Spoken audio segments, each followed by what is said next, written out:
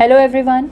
This one is specifically for the foodies like me who feel that food is not merely a fuel, but it's a comfort, experience, fun, and much more. So when we hear that food is health, we kind of ignore that thing and pacify ourselves saying कि क्या फ़र्क पड़ता है but boss फ़र्क तो पड़ता है and when we are above 30 and start seeing that फ़र्क in our bodies itself then we secretly decide to go for healthy eating that begins with cutting out on the carbs fats fried foods sweets etc so basically you determine to eat healthy secretly in our office too we all do that हाल ये है कि अगर शाम को by chance भूख लग जाए you can't find anything with anyone because all want to be healthy so then the propagators like me would say चलो बाहर से कुछ मंगवाते हैं and then guess what we and up eating every thing like samosas jalebis pakoras sweets and what not so basically सारी मेहनत पे पानी फिर जाता है but we are ऑप्टिमिस्ट्स we decide to start all over again. And this vicious cycle never ends. So during this lockdown, I sat quietly with myself to think how we can make some realistic changes. I browsed over all the past learnings I had on food, nutrition, and health, especially during my pregnancy.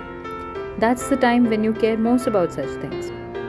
It's also a fact that we can eat with discipline for the baby inside us, but not for our own selves. Well, what I found as a root cause is that breakfast, lunch, and dinner are normally healthy only. वैसे भी normal Indian food is not very unhealthy. Point fails when it comes to snacking. All our snacks are either fried foods or uh, sweets or filled with potatoes. So while I'm already on my way to find some options for healthy and quick snacks, I devised a strategy. When we are hungry, it's difficult to not gobble whatever is available. Above all, if it is tempting, which most of the unhealthy foods are, acting mindfully is far from possible. So, the trick is to keep a neutral state of hunger. Before your inner self demands itself, feed it. That way, you can keep the portion smaller and healthier as well. Though being mentally ready to start eating healthy is the foremost requirement, here are the three things that helped me in the past few weeks. They may help you too. Firstly, I designed an eating schedule for us. To make up for the large gaps between main meals, I kept these fillers. Secondly, staying hydrated is another trick.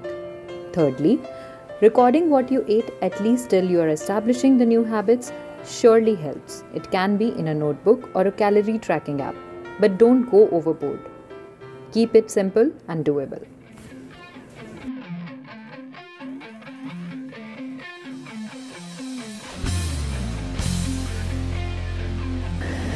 Hope you like this video. Please don't forget to like, share and subscribe. And if you have any questions or suggestions, please drop in in the comment section below.